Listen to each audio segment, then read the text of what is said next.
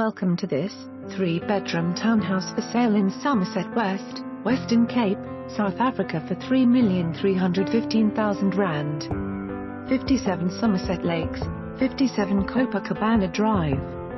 3-bed, 2-bath home to be built in March 2017, no transfer fees. Walk into the entrance hall and into an open-plan kitchen scullery with Caesar stone tops. Lounge and dining area open lead out to a patio and landscaped garden. The home is tiled throughout, the kitchen has space for two appliances. Upstairs the main bedroom has built-in cupboards and an ensuite bathroom.